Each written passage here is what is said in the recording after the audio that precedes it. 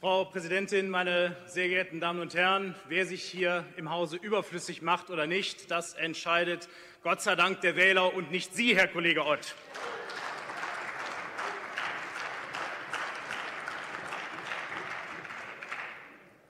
Und da war er wieder am Schluss der dritten Runde, der gleiche Jochen Ott wie am Anfang.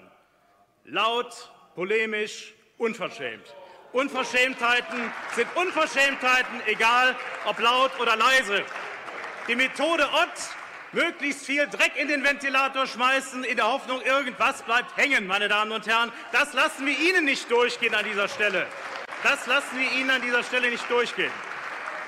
Die Wahrheit ist doch, die Wahrheit ist doch nach anderthalb Stunden Debatte, Ihnen ging es doch gar nicht um die Kommunalfinanzen. Ihnen ging es doch gar nicht um die Probleme der Kommunen. Sie haben lediglich einen Anlass gesucht, um auf die PK des Ministerpräsidenten von heute Abend in irgendeiner Form heute Morgen zeitnah zu reagieren. Die war abgeschlossen, Herr Kollege Ott. Der Ministerpräsident war da.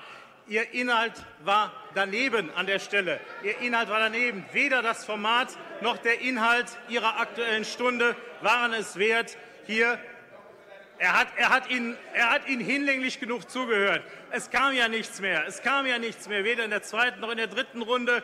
Nichts Inhaltliches. Ihr Versuch ist daneben gegangen. Ihr Versuch ist kläglich gescheitert. Sie haben weder weder die inhaltliche Größe noch das Format, dem Ministerpräsidenten an dieser Stelle heute Morgen Paroli zu bieten. Das halten wir fest. Danke für Ihre Aufmerksamkeit.